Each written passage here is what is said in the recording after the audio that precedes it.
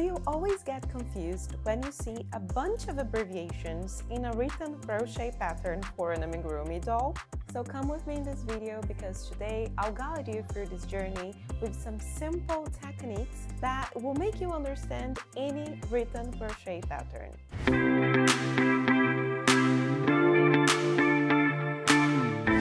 Guys, I am Bianca from Crocheniacs and in today's video I have this very special tutorial on how to read a crochet pattern and I'll break it into a few steps to make it even clearer for you. Usually when we are beginners, we only rely on YouTube channels with big tutorials so we can follow along the crochet pattern but after a while, we gain more experience and we want to explore some other patterns, some other dolls that usually are paid patterns and written instructions. And we have to agree in this one, there are amazing patterns and beautiful ones out there. So yeah, it's important for us to know how to read them properly and explore these amazing patterns that exist. So before we dive into the explanation, it's very important to say that every designer has its own way of writing and explaining things in their written pattern. So it changes a bit from person to person, I mean their experiences or cultural background. So it doesn't mean that the way that I will show you here will be exactly the same way that you will see in all written instructions. But all in all, you see that these steps are useful for any amigurumi pattern and you will understand them. I am 100% sure that after this tutorial, you will understand them all. So for this tutorial here, I'll use my Lumalee pattern, which is free, and you can download it here. It's a very beautiful pattern. Um, Lumalee is from the Super Mario movie I created because I really think this character was so funny. I was laughing so hard with the kids at the movies. So yeah, that's why I created and we will follow along the explanation with this pattern. So usually the first few pages of a crochet pattern consists of the material list, so it usually consists of all the yarns that are used in the project, the crochet hook size um, that was used for this yarn, um, if the pattern requests, I don't know, I amigurumi mean, glasses, wire, hot glue, or any kind of glue, I don't know, embroidery yarn. What else can we use? Yeah, I mean, the, the variety of accessories that we can use in a pattern are huge and we usually write in these first pages. There is also a list of abbreviations which are short terms that are used throughout the pattern and also some other instructions that the designer think that might be useful for this specific pattern or for all the patterns that this designer creates. Usually when someone takes a crochet pattern, um, they simply want to start making like, okay, which yarn do I need? Which crochet hook size do I need? Let's get crocheting. But this is not how you should do it. I know lots of people who simply ignore these first few pages because they are like, they say, I'm an advanced crocheter. I don't need to check these first tips or these first few pages.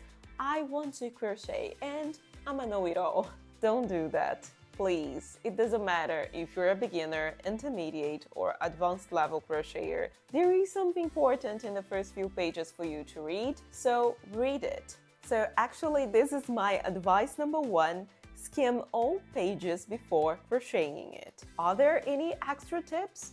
Are there YouTube links or QR codes with simple tutorials that might be helpful throughout the pattern? What is the order that the amigurumi is written? Let's suppose it's a doll.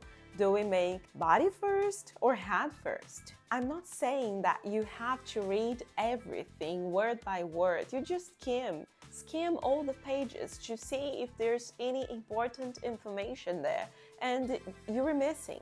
This idea of skimming all the pages first is just for you to get the gist of what is the pattern about or what is that you're going to build like okay, I know it's a doll because I purchased the pattern for a doll, but how is the doll created? What's the idea behind it? It's really important to skim all the pages first. And I say it because as a designer, there is always a reason why things are written the way they are. And you should really follow these steps and these explanations. Think that the person who wrote it have already thought about all the steps that you are going to create. This person has already tested the pattern a couple of times before selling it. So there's a reason why it's, I don't know, you should make the arms first and then the legs. And I don't know, the head is the last part of the crochet pattern. There's a reason and the designer knows that and that's why it was written the way it was. Which also leads me to advice number two. Follow the pattern in the sequence that it is written. And I'm not saying it just because, I don't know, it was an idea that came up to me. I'm saying it because I have a few years of experience in this area and I have seen so many of students and customers asking me some things simply because they didn't follow exactly the way that it was written or the order that I wrote. They decided to do their own order and it changes. All know I'm a crochet designer, but I'm also a teacher and I am specialized in methodology of teaching. Um, I am now actually doing my master's degree in teaching also. So you see that I love this subject. Teaching is really in my blood. But um, as a designer, as a crochet designer, I always think the best way to write something. I think in a way to write it to make the pattern be as didactic as possible. So sometimes it's written in a way because I spent quite a long time thinking about it and all the methodology behind it and a person changes it and then the result is not the way they expected and there's not much to do in that case. Okay, so just take your crochet pattern, follow it, read it, skim it, and enjoy the process of creating because following a crochet pattern and you see your beautiful amigurumi doll or animal anything you want to create, getting its shape is amazing. It's amazing to see it happening. Now to the pattern itself and we will check the abbreviations first. I know that all these letters mixed up may seem a bit intimidating, but believe me because these are not that difficult and Learning these abbreviations are the key to understand a written pattern. So here we have the list for abbreviations we have CH, which means chain, R&D for round, ST for stitch, SLST for slip stitch, SC single crochet, and we have half double crochet, front loops only, back loops only, increase, decrease, double crochet, treble crochet, back post single crochet. And when we have those um, three dots here, it means like round stitches total. So if you have like in parentheses um, 30 or 42, it means the total stitches in that round. Honestly guys, you don't have to memorize this list of abbreviations at first. You, you get used to them. After, I don't know, two, three patterns, you get used to it and you don't even have to go back to the abbreviation list. So now that we have the abbreviations in mind, you see that it becomes much, much easier to understand a crochet pattern. So let's check the pattern for our beautiful Lumalee. Here, we start with the legs. And I wrote here, make two pieces with Neptune color. This color is written in the material list in the previous page. So what you have to do, R&D1 means the first round. So round number one, you have to do six single crochets in a magic ring.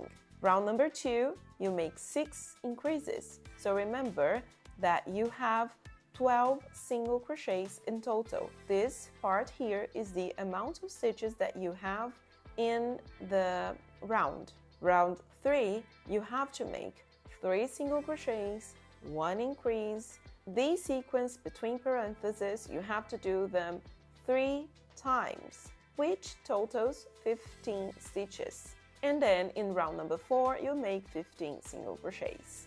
And this is how you read a crochet pattern. Another thing that I want to show you again in my Lumalee crochet pattern is something that I usually make and I have seen that some designers also make it. There are some people who don't do that and that's totally fine because after a while it gets intuitive what each round is supposed to be. But if you are in doubt, if you're not sure what um, how to read this person's pattern, you can always ask. But in my case, let me show you something. Also in the first pages with instructions that I told you before, you can see that I have here the list of abbreviations, dimensions, difficulty level, and also a small example on how to read the pattern. So in this example here, we have round three, two single crochets, one increase.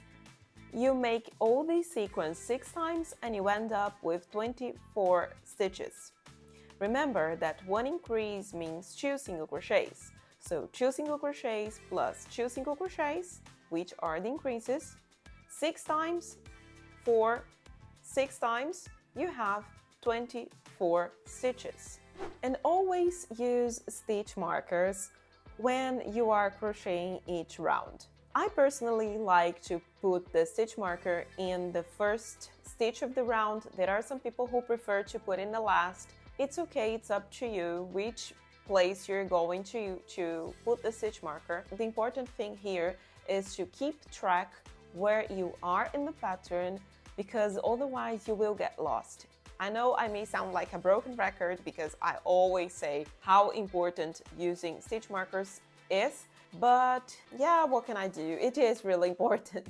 And lastly, pay attention to the stitch count. It's very important to count the stitches at the end of each round so you know you're doing it correctly. You cannot imagine how frustrating it can be when you're like following a sequence like you have to make, I don't know, 50 stitches for 10 rounds and when you got to the last one you see that you don't have 50 you have I don't know 51 and you oh my god when did I mess it up? And you have to go back like 10 rounds. It's awful.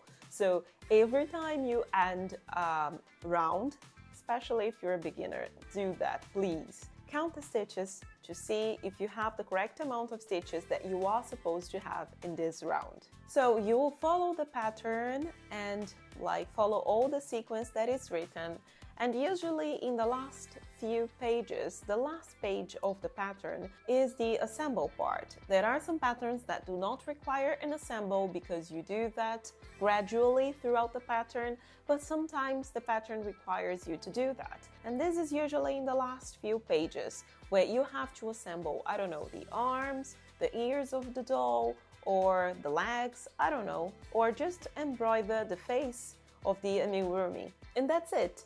These are the steps and some tips mixed in these steps that will help you read a crochet pattern. And that's it guys. Read it carefully, skim all the pages, read the instructions and follow the pattern and I don't know, check the tutorials, YouTube videos, um, if there are QR codes in the pattern, follow it and I am sure you are going to have a perfect finished doll. And there you have it, a simple guide with a few tips that will make you understand how to read a written crochet pattern. And always remember, practice makes perfect. Don't feel discouraged. If in the beginning you feel like it's too difficult and it takes too long for you to read a simple hat pattern, I don't know because with time and patience you will be able to create beautiful amigurumis on your own. Thank you for watching, let's keep these crochet hooks busy and I'll leave you with this other video here because I am pretty sure you're going to like it too.